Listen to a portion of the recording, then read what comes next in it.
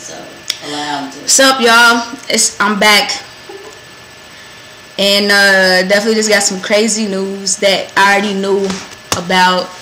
Um, I'm just letting y'all know the devil is really trying. He's really trying, and it's some something I just found out about some people that are close to me.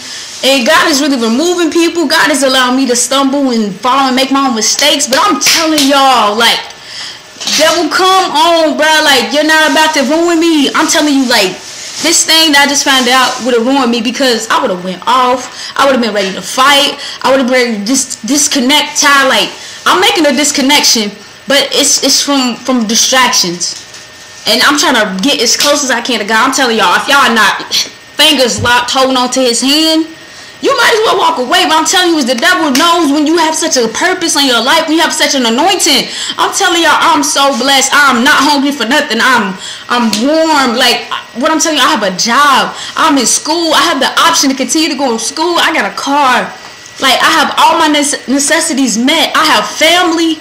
I have friends. Like actual friends. I don't care if it's just church family. That's all I need because I know they praying for me. They want the best for me. And even our church folk ain't that that way. But I'm telling you, I know some some real saints.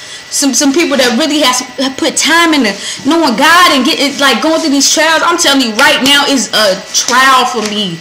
I just messed up. I felt uncomfortable about cuddling with somebody because I know my, my place is not in the bed with somebody right now when God's trying to be wants me to, to, to talk to him. I, I wanna I want this quick fix like like I can just go do anything because I want to feel connected with people. What I'm telling you is connect connecting with God will fulfill all of that. I don't have to be laid up with nobody. I don't have to be kissing, touching, nothing. I don't have to be claiming no no titles required. None of that. Like what I'm telling you is God is is real. Like He is trying to show me there's something greater, and the enemy is definitely trying to hold me back, and I, I cannot let that happen. Anything that I've been tied to, if it if it ain't about God, it's done. Turn it up like this, man. It's done. Like I don't I don't need anything if it's not of God, if it's not from God, I don't want it. I'm telling you, friends, I don't care how close we been. Bye. There's the door. Like I'm done.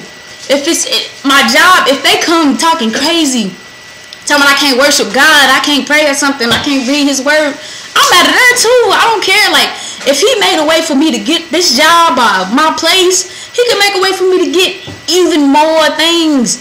And even if I lose everything because of I'm making videos about me being honest, even if I if I lose like friends, like what I'm telling you is I serve the creator of this world and any anything and everything in it like he can create opportunities for me to, to succeed, to go wherever I need to go. I'm telling y'all, bro. Like I was just to the point of tears just before I did this video. I am okay. I will not allow the devil to win. Like I'm telling y'all, man, man, it's gone. It's gone. Any inkling I had of homosexuality is gone. I don't have that desire. I don't care. It's uncomfortable. I hate it now. I hate it. I'm telling you because I love God and you cannot serve two masters. You're gonna have to decide. There's no gray area. There's no there's no gray. Oh my God, there's no gray, and I don't want to be in a gray area no more. Man, I'm so grateful that that I'm at a point where I can I can hear this and get this feedback and this negativity and be like, you know what? I want to go that much harder for God. I want to go there. I want to give him all my all, y'all. I'm talking talking about full surrender, full surrender. Right now, I'm on fire for him. Man, God, thank you right now for this revelation. Thank you for just just breathe the life through me, Lord. I pray that I am a light to your people, God. If it's not you, I don't want to be in it, God. I pray when they see me that they see you, God. Just everything. Just Lord, take it. Take it all. Anything that is that is in my way, Lord, any distraction, Lord, remove me from myself, God.